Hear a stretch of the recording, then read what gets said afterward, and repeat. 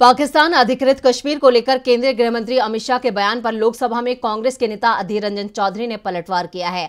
चौधरी ने पीएम मोदी और अमित शाह को हिंदुस्तान का बहादुर बताकर तंज कसा है और चुनौती दी है तो क्या कहा है कांग्रेस नेता ने? देखते हैं ये रिपोर्ट। गृह मंत्री अमित शाह के लोकसभा में दिए बयान पर सियासी बहस छिड़ी हुई है। अब इसको लेकर कांग्रेस नेता ने कहा कि पीओके से एक सेब लाकर दिखाओ।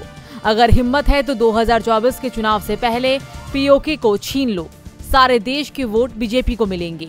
बता दें कि एक दिन पहले केंद्रीय गृह मंत्री अमित शाह ने पाकिस्तान के कब्जे वाले कश्मीर यानी पीओके के मुद्दे के लिए पूर्व प्रधानमंत्री जवाहरलाल नेहरू को जिम्मेदार ठहराया था।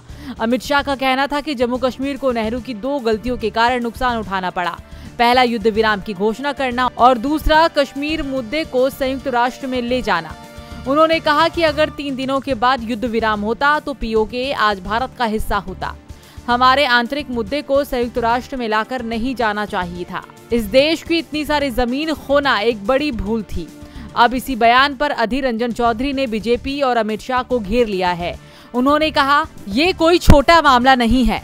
इस पर दिन भर सदन में चर्चा होनी चाहिए। 2019 में जब 370 हटाया गया तब अमित शाह ने पीओके सियाचिन को लेकर कहा कि उसे वापस लाया जाएगा। पीओके को वापस लाने में भाजपा पार्टी और इन्हें प्रधानमंत्री गृह मंत्री को किसने रोका?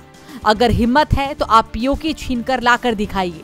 जो काम कांग्रेस नहीं कर पाई, आप करके दिखाइए। लोकसभा में कांग्रेस के नेता अधीर रंजन चौधरी ने गृह मंत्री अमित शाह को उनके 2019 में दिए गए बयान की याद दिलाई, जिसमें उन्होंने कहा था कि वो कश्मीर के लिए जान भी दे देंगे।